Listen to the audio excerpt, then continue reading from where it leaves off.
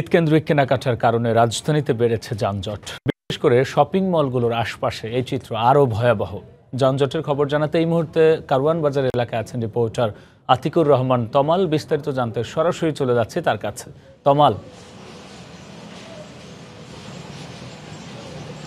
হ্যাঁ রাব্বি, রমজানের উনিশতম দিন চলছে আজ। আপনি হয়তো জানেন যে আজকে কিন্তু শনিবার কিন্তু শনিবার হওয়ার পরে কিন্তু আজকে কিন্তু অনেক কিন্তু মনে করেন জ্যাম রয়েছে রাজধানীতে এবং যেহেতু শনিবার সেই কারণে কিন্তু অনেকেই কিন্তু বেরিয়েছেন কেনাকাটা করতে এবং যে কারণে কিন্তু রাজধানীর যে মার্কেটগুলো রয়েছে, সেই মার্কেটের সামনে কিন্তু অসংখ্য গাড়ির জটলা পেকে রয়েছে। আপনি হয়তো দেখতেই পাচ্ছেন, আমি রয়েছি কারওয়ান বাজার এবং ফার্ম গেটের যে রাস্তাটা রয়েছে, সেখানে আপনি হয়তো দেখতে পাচ্ছেন যে সেখানে কিন্তু দুপাশের রাস্তায় কিন্তু একদমই ব্লক হয়ে রয়েছে। অর্থাৎ যানজটের যে আমরা অবস্থাটি দেখতে পাচ্ছি সেটি হচ্ছে যে দুপাশের রাস্তা কিন্তু দীর্ঘ গাড়ি সারি পড়ে গেছে এবং অনেকে কিন্তু হেঁটে কিন্তু রওনা দিয়েছেন বাসার উদ্দেশ্যে।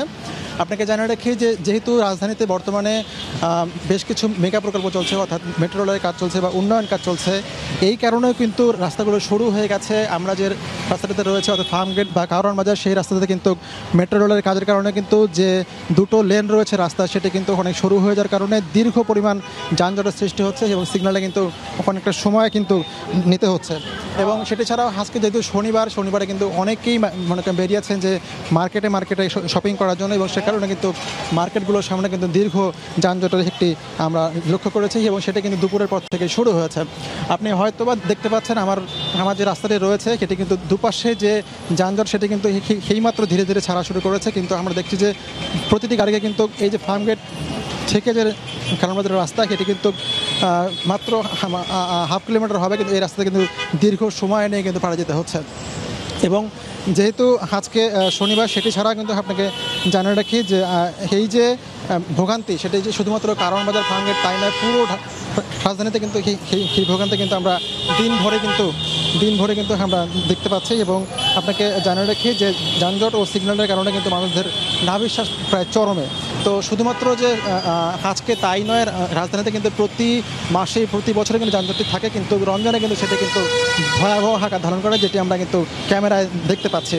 এবং একদিকে কিন্তু কাজ চলছে মেট্রো রেলের, অন্যদিকে কিন্তু যে রাস্তা শুরু হওয়ার কারণে যে যানজট সেটা কিন্তু ভয়াবহ ভোগান্তি সৃষ্টি করেছে বলে আমরা নগরবাসীর কাছ থেকে এমনটি অভিযোগ পেয়েছি। তো সব মিলিয়ে বলা চলে যে, রাজধানীতে যে যানজট, সেটি কিন্তু আজকে মাত্র উনিশতম দিন চলছে। এরপরে কিন্তু আরও এগারোটি রোজা রয়েছে।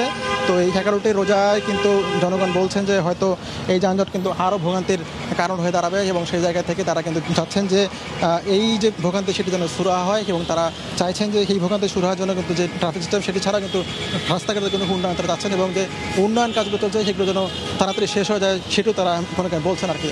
তো সব মিলে বলা ছিল এই ছিল আমার কাছে কারণ বাজারের সবশেষ খবর। রাব্বি? রাজধানীর যানজটের খবর জানাতে কারওয়ান বাজার এলাকা থেকে যুক্ত হয়েছিলেন রিপোর্টার আতিকুর রহমান তমাল।